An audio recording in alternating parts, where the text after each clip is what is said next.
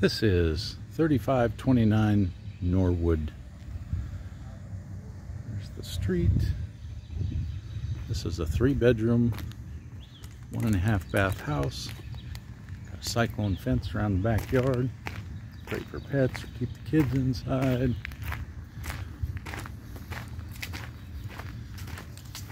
awning to stay out of the rain.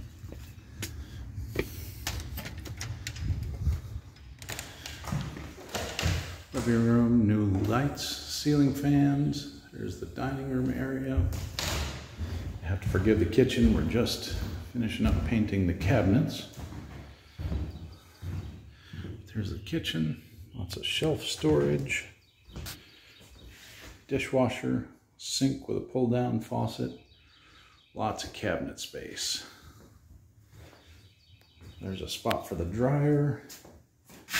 And right in here is a spot for the washer. So you got washer dryer hookups inside instead out on the porch.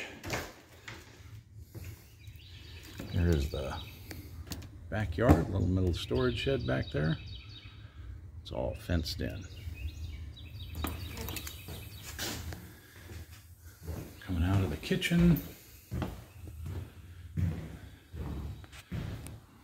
Through the living room, back to the bedrooms and bathroom. There is one bedroom, looking out to the backyard.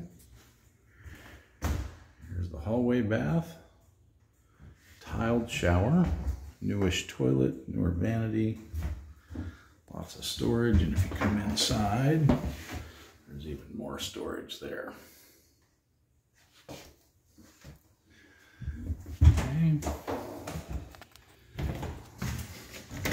There's a hallway closet.